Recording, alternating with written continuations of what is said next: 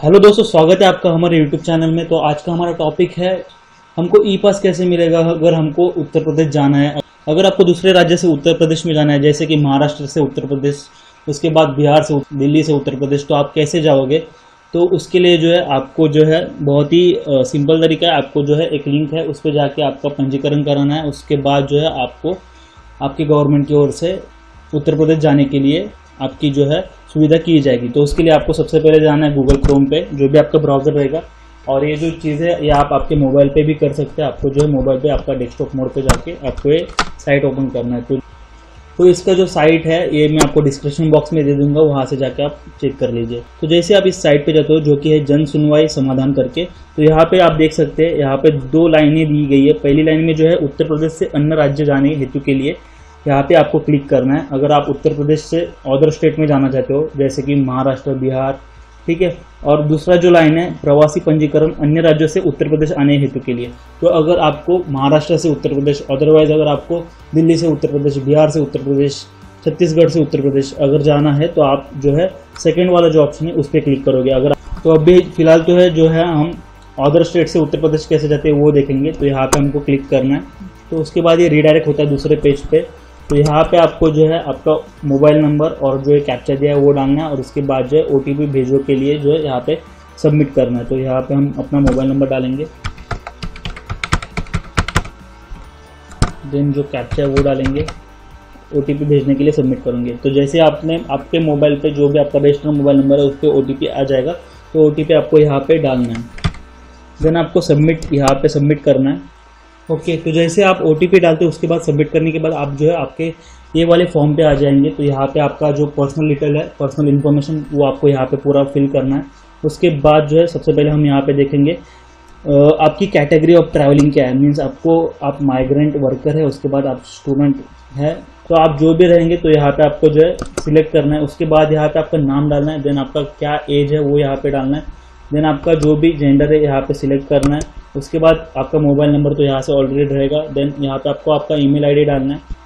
नीचे आपको यहाँ पे आपका आइडेंटिटी कार्ड जिसमें आपको Aadhaar card driving licence PAN card voter ID जो भी आपके पास रहेगा, उसमें से आपको एक डालना है यहाँ पे और उसके बाद जो है, यहाँ पे आप एक जो है सिलेक्ट करेंगे और यहाँ पे जो है आपका आधार कार्ड का जो भी नंबर है, यहाँ पे आप डालेंगे। अब जो है आधार कार्ड का जो यूज़ है आपके आइडेंटिफिकेशन के लिए होगा, ठीक है? उसके बाद जो आपको स्क्रॉल डाउन करना नीचे। देन आपको यहाँ पे नीचे पूछा गया है कि आप जो है आपके परिवार के साथ यात्रा कर रहे हैं तो आपको जो है, अगर आप कर रहे हैं तो आपको टिक करना है अदरवाइज़ ये ब्लैंक छोड़ना है। उसके बाद यहाँ पे आप टिक करते तो यहाँ पे आपके साथ कितने आदमी हैं तो आप जो है आदमियों की संख्या डालोगे। उसके बाद जो है यहाँ पे आपको जितने भी आपके फैमिली मेंबर हैं, उनके नाम, उनके जो भी एज है, वो यहाँ पे डालना है। और उसके बाद जो आपके साथ उनका क्या रिलेशन है, आपका तो जो भी उनके साथ आपके रिलेशन है, आपको यहाँ पे डालना है, ठीक है? उसके बाद यहाँ पे आप नीचे जो देख रहे हैं मोड ऑफ़ ट्रैवल आप कौन से तरह से आप ट्रैवल करेंगे? जो आपके, अगर आपके पास फोर व्हीलर है तो यहाँ पे आपका स्वयं का वाहन दिखेंगे दिखेंगे। अदरवाइज़ यहाँ पे दूसरा ऑप्शन है, यात्रा सहायता के लिए सरकार से अनुरोध। मीन्स आप जो है रिक्वेस्टिंग गवर्नमेंट व्हीकल मीन्स आप जो है, आपके गवर्नमेंट से रिक्वेस्ट करोगे। उसके बाद नीचे आपको यहाँ पे टिक करना है। क्या आपको आपके परिवार के किसी अन्य सदस्य को सर्दी या खांसी या बुखार या संबंधित लक्षण है? तो अगर रहेंगे किसी को तो आपको यहाँ पे यस करना है अदरवाइज़ यहाँ पे नो करना है। देन यहाँ पे आपको नीचे क्वेश्चन पूछा गया है कि आप या आपके परिवार में से कोई भी व्यक्ति को चौदह दिनों के लिए क्वारंटाइन किया गया था पिछले कुछ दिनों के लिए तो यहाँ पे यस रहेगा तो आपको यहाँ पे डेट डालना है कब से कब तक के लिए। अगर नहीं है तो आपको यहाँ पे नहीं पे क्लिक करना है। ये हो गया पार्ट आपके पर्सनल इन्फॉर्मेशन का तो यहाँ पे आपको नीचे आपके जो करंट एड्रेस मीन्स जो आप कौन से स्टेट में हो करंटली वो यहाँ पे क्लिक करना है। यहाँ से आप आपका राज्य चूज़ कर सकते हो, जिस राज्य में हो, उस राज्य से। ठीक है, उसके बाद जो है आपको कौन से डिस्ट्रिक्ट में आप फ़िलहाल हो, वो चूज़ करना है। देन उसके बाद आपको यहाँ पे पूरा पता डालना है। ठीक है, वो होने के बाद यहाँ पे जो है आप आप उत्तर प्रदेश में किस राज्य में या किस जगह पे जाना चाहते हैं वो पता यहाँ पे आपको देना है। आप जो है ग्रामीण क्षेत्र में जाना चाहते हैं या अर्बन क्षेत्र में मीन्स नगरीय क्षेत्र में जाना चाहते हैं। तो जो भी जाना चाहते हैं, यहाँ पे आपको क्लिक करना है। उसके बाद जो है आपको आपका डिस्ट्रिक्ट चूज़ करना है।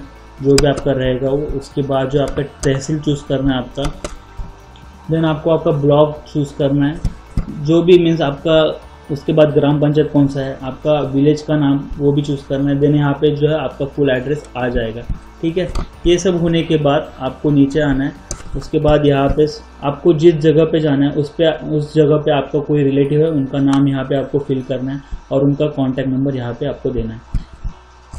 देन आप जैसे नीचे आते हो तो यहाँ पे तीन ऑप्शन है जो कि आपको फिल करना है।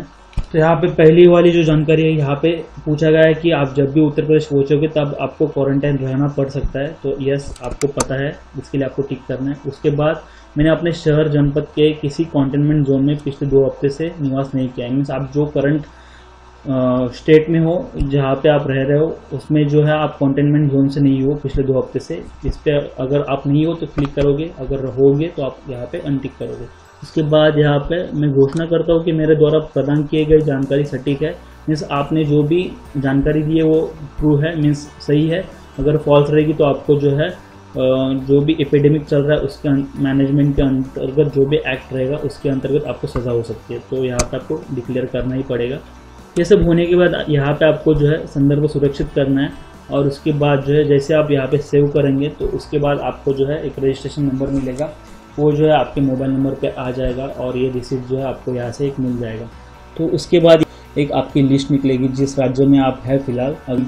अगर आप महाराष्ट्र राज्य में हैं तो आपका जितने भी उत्तर प्रदेश से लोग रहेंगे, उसका लिस्ट निकलेगा और उसके बाद जो है आपको आपके मोबाइल नंबर पे जो है कंफर्म किया जाएगा कि आपको किस दिन कहाँ से जाना है, कहाँ से आपको गाड़ी मिलेगी और आपको जो है आपके राज्य में सही सलामत पहुँचाया जाएगा।